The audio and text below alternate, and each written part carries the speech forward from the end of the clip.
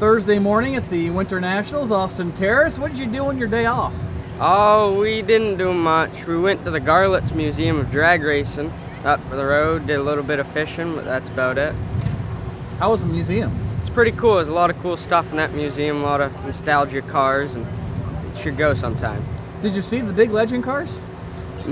yeah, there's a few. well, of course, the full-size ones are a lot nicer as far as the street value is concerned, right? Yeah, a little bit.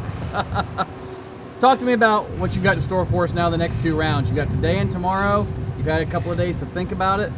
What's the approach now for these final two races?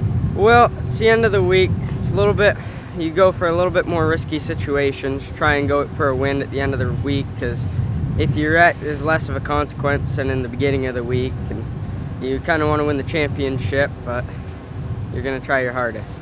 Where do you rank in that championship standing? I'm second right now, close to first, close to third. It'll be tough. Who have you got to worry about beating? Sam Meyer and Ashton Higgins, they'll be tough, but I think we can pull it off. What's it going to take in that case? It's going to take probably a win and a top two, but if we wreck, we'll be out of it. All or nothing? Maybe. Well, we're glad to see you here. Have fun and good luck to you today. Thank you.